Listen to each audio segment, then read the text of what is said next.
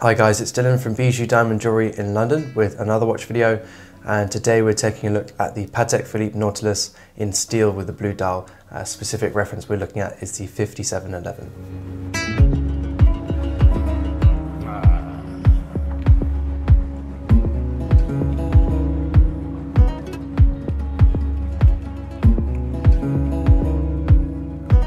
So the 5711 uh, steel with the blue dial that we're looking at today is possibly one of the most important watches and most talked about watches in the watch industry at the moment. Uh, it sells for insane prices over its list price. It also has a huge price fluctuations as well. And summer, last summer or, kind of autumn, we saw big, big price booms on these watches. Uh, the Nautilus is obviously a very important watch in, in the industry. Um, there's lots to talk about with this watch. So as always, let's go back in time and look at the history of the Nautilus and the 5711 and learn about how this watch came into the watch industry. Uh, so we're going to go back to the late 1960s, specifically 1969, which is when Seiko released a quartz watch.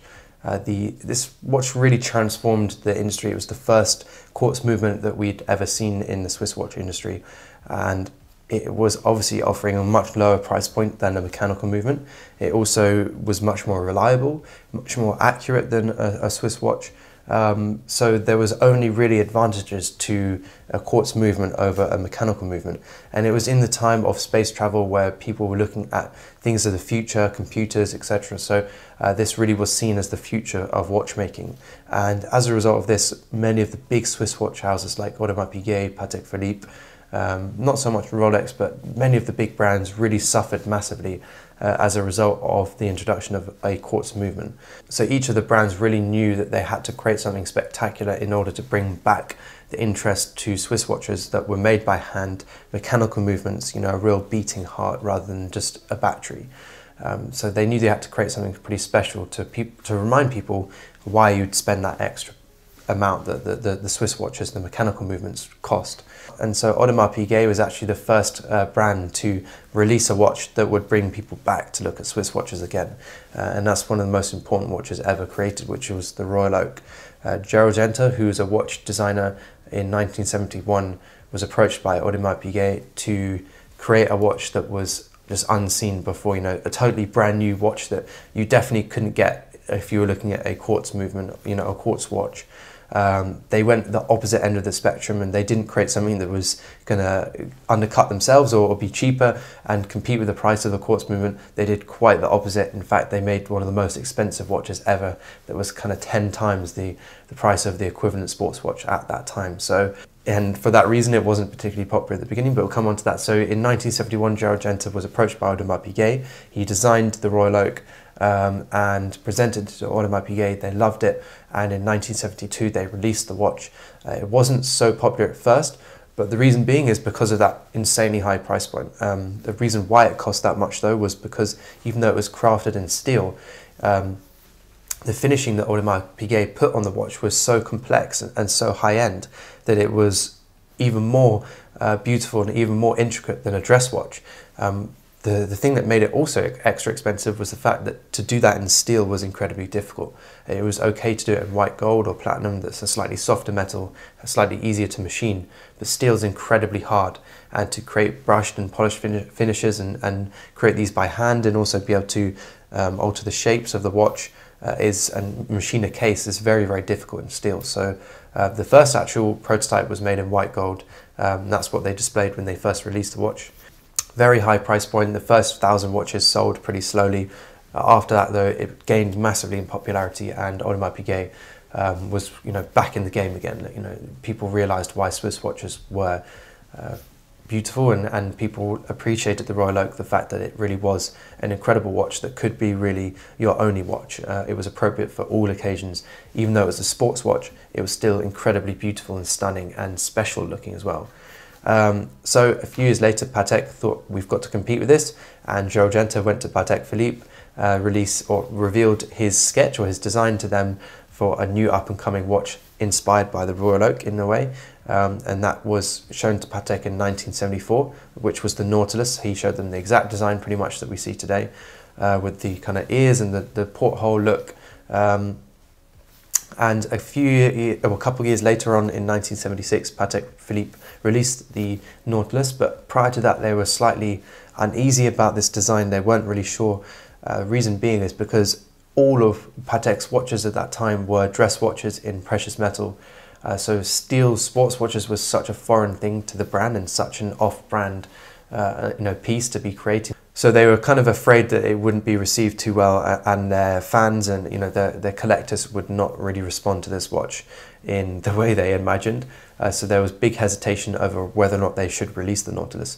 Uh, but they eventually decided to release the Nautilus in 1976. Uh, again, the watch didn't do so well at first. This was reference 3700. Um, the watch didn't do so popular partly because it was actually even more expensive than the Royal Oak, which was already an incredibly expensive watch. So, but later on, the watch was accepted, and, and people really responded to the Nautilus and understood again the same way they did with the with the Audemars Piguet Royal Oak, the fact that this watch was a truly special piece.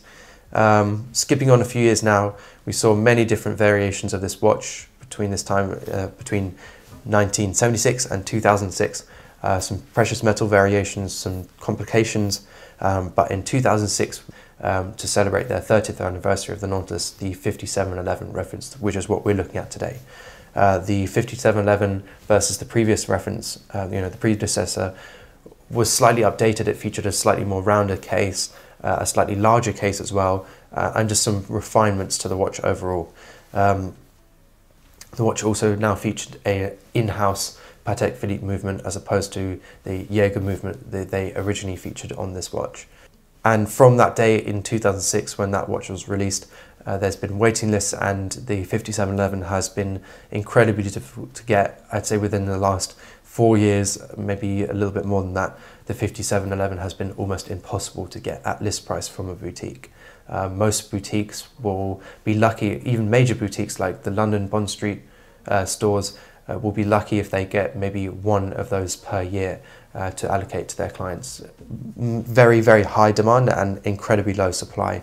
And Patek is looking all the time at dropping that supply lower and lower and lower. Uh, I know Philippe Stern is not very uh, a, a, big fan of the Nautilus line. Um, there's lots of interviews out there about him talking about what he predicts for Nautilus in the future and um, it's pretty clear that they don't want to focus on Nautilus much at all. Uh, they really want focus on the dress watches, which is really the DNA of Patek. So that concludes the history of the 5711. Let's take, or the Nautilus in general, let's take a look at the actual features of this watch. Uh, so we're going to start, as always, with the clasp. Uh, the clasp on this watch is a nice clasp. It's very low profile, which I really, really like. It's very comfortable as well. Um, it's not as good as some other brands out there, like Audemars Piguet. I think the Audemars Piguet clasps are better. Uh, it feels slightly more flimsy compared to the Audemars Piguet clasp. Uh, it also has no twin trigger. It's kind of like a, a resistance um, clasp, so you have to pull it to in order to open it up, which I really don't like. I also don't love the fold over section of this clasp. I feel like it's a little bit of an afterthought. It doesn't really in keep with the beautiful, exceptional finishing that this watch has. Um, so the clasp is not my favorite, uh, but it is comfortable and it works. Obviously no adjustability. Uh, it's not as secure as something like a twin trigger clasp from Audemars Piguet.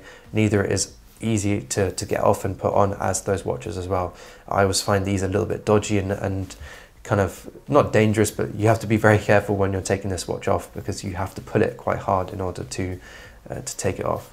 Um, moving on now to our bracelet, we've got our iconic Nautilus bracelet with the bubbles.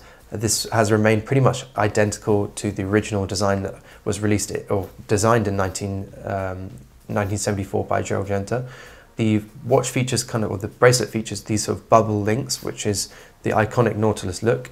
Uh, I personally am not a fan of those bubbles. Uh, they're also a bit of a scratch magnet as they protrude slightly out from the bracelet and they are of course in polished finish. So when you scratch them or you know you scuff them, they are very easy to see when it's in polished. Um, the bracelet is nice though, it's very comfortable. I love the fact it tapers up and seamlessly interacts with the case. Uh, there's the finishing on the, on the bracelet is stunning as well.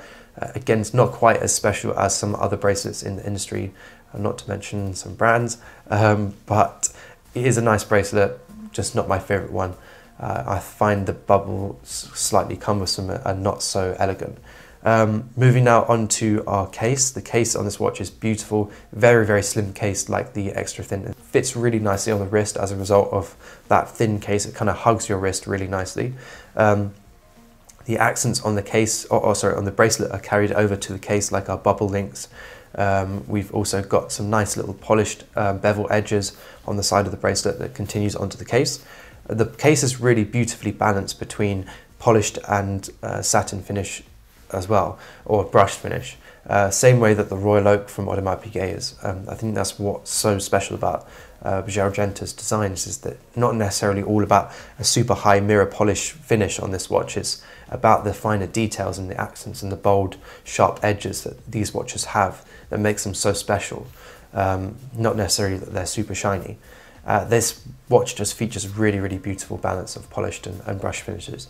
Um, I love the ears on this watch as well, the, the either side of the crown or opposite side of the crown and the crown side. It helps to balance that watch out much more nicely. Um, I love the, the design of the bezel, the kind of half octagonal, oval, rounded, square bezel. Uh, the case back on this watch is a clear crystal case back like the Royal Oak. Um, we can see straight through to the movement on this watch, which is a stunning Patek Philippe um, movement with a Patek, Patek Philippe seal, which means it's finished to an exceptional level. All the screws are polished by hand. Every screw hole is polished and beveled. Uh, it's just finished to an unbelievable level. Uh, there's probably not really many other brands that can match to Patek Philippe in terms of their finishing, unless you're looking at maybe an independent watchmaker. Uh, they are really the top of the top in terms of movement and case finishing. Um, moving now onto our dial. Our dial on this watch is the stunning iconic blue dial for the 5711. It features a very, very similar tone of blue to the original uh, reference 3700 that was released in 1976. Um, it's kind of like a darker grey blue. The early versions of the 5711 were much more of a blue uh, tone. These later ones, so this is a slightly later model that we're looking at today, uh, it features a much more of a grey blue colour. I wish this watch was slightly more blue, but I definitely appreciate the fact that it, this one is slightly more true to the original uh, 3700 reference. The dial is very balanced as well. We've got simple hands, uh, three hand design seconds, uh, minutes and hours with our date window. Uh, yeah, super elegant, very symmetrical um, apart from the date. And we've got a nice pattern on the dial, like a wave pattern, which is really, really nice as well. Very simple, clean, elegant design, super legible as well. The white dial is unbelievably legible. Okay, so that concludes our features of the 5711 uh, onto whether or not I would own this watch. I think I would possibly own this watch. I think I would own another watch over this one, which I'm sure you can guess. And that is coming on to a future video, which I'm going to do in the next couple of weeks to compare this with one of its biggest competitors. Um, I love the 5711. I love the, how thin it is. I love the way it really hugs the wrist. I think it's a beautiful watch. It really does suit my wrist and suits a massive range of wrists. That is a great thing about this piece. Uh, if you're looking for a real classic, then the Nautilus you can't really go wrong with. Uh, I think the thing that puts me off slightly about the Nautilus and the 5711 is the bezel design reminds me a little bit of a TV, which is not my favorite look really, if I'm being honest. Uh, this is me being super honest now. Uh, but I definitely can appreciate all the, the finer details in this watch and the exceptional finishing to the movement and actually the case as well. Um, and Patek Philippe is my favorite brand, so it's hard for me to, to be critical about watch, um, but for me, Patek Philippe really is about the dress watches, not necessarily the Nautiluses. Uh, but let us know in the comments, what do you think of the 5711? Do you like the 5711 in this blue dial or the white dial? Do you like the Nautilus in general? Uh, what do you prefer, this or, or maybe a Royal Oak or perhaps a, another watch from another brand? Um, let us know in the comments and also let us know what other watches you want us to review. We've got many more watch reviews coming soon, um, so stay tuned. And as always, if you're interested in this watch or any other watch in the Swiss watch industry, then don't hesitate to contact us. Our details are in the description. And also at the end of the video, it'd be a pleasure to call this watch into stock for you.